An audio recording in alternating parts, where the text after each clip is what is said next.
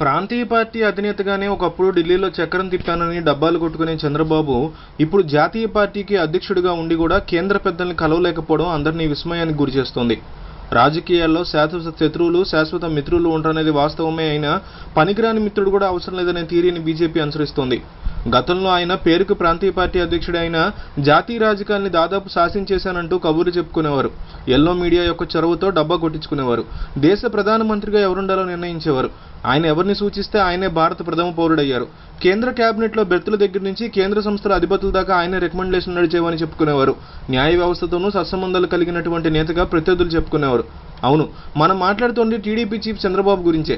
ప్రాంతీయ పార్టీ అధినేతగా ఒకప్పుడు ఢిల్లీలో చక్రం తిప్పామని తన మీడియా ద్వారా భజన చేయించుకున్న చంద్రబాబు ఇప్పుడు జాతీయ పార్టీకి అధ్యక్షుడిగా ఉండి కూడా కేంద్ర పెద్దనే కలవలేకపోవడం అందరినీ షాక్ గురి చేస్తోంది చంద్రబాబు తాజా ఢిల్లీ పర్యటన మీద తెలుగు రాష్ట్రాల్లో జాతీయ స్థాయిలో ఇప్పుడు ఇదే చర్చ నడుస్తోంది. ఆంధ్రప్రదేశ్లో పెనురుమారం రేపిన బోషడీకే వివాదం దాని అనంతర పరిణామాలు జగన్ సర్కార్ ప్రాయోజిత ఉగ్రవాద చర్యలంటూ ఆరోపణలు. గడిచిన రెండున్నరేళ్ళలో రాష్ట్రం లూటీ అయిపోతుందంటూ చేస్తున్న హడావుడిని కేంద్రానికి వివరించేసి వెంటనే ఏపీలో రాష్ట్రపతి పాలన పెట్టించేసి హడావుడి చేయడమే లక్ష్యంగా ఢిల్లీ పర్యటనకు వచ్చారని చంద్రబాబు స్వయంగా చెప్పారు. రీసెంట్గా మొన్న సోమవారం మధ్యాహ్నం ఢిల్లీ ఎయిర్పోర్ట్లో దిగిన ఆయన పలువురు టీడీపీ ఎంపీలను వెంటేసుకుని రాష్ట్రపతి భవన్కి వెళ్ళారు. ఏపీలో స్టేట్ స్పాన్సర్ టెర్రరిజానికి సంబంధించిన రుజువులు రాష్ట్రపతి పాలన అవసరమైనటువంటి వ్యవహారాలన్నీ సరంజామాన్ని సిద్ధం చేసుకుని కేవలం రాష్ట్రపతి రామ్నాథ్ కోవింద్ని అది కూడా వెంకయ్యనాయుడు యొక్క సపోర్ట్తో వచ్చినటువంటి అపాయింట్మెంట్ మాత్రమే తీసుకుని కలవగలిగారు.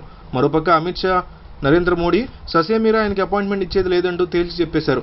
మరోపక్క ఆంధ్రప్రదేశ్ ముఖ్యమంత్రి జగన్మోహన్ రెడ్డితో అమిత్ షా ఒక ఫోన్ కాల్ మాట్లాడినట్టుగా తెలుస్తోంది.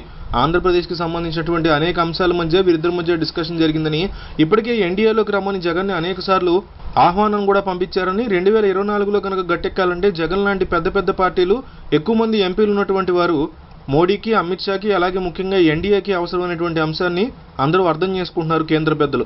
దీంతో జగన్మోహన్ రెడ్డితో మచ్చిక చేసుకోవడంలో భాగంగా చంద్రబాబును రిజెక్ట్ చేశారని ఈ మధ్యకాలంలో ఏపీకి సంబంధించినటువంటి అంశాల గురించి కూడా ఫోన్ చేసి మరీ మాట్లాడారని జగన్మోహన్ రెడ్డి తరఫున చేసినటువంటి జనాగ్రహ దీక్షలు సక్సెస్ అవడం గురించి కూడా అమిత్ షా ప్రస్తావించారని తెలుస్తోంది.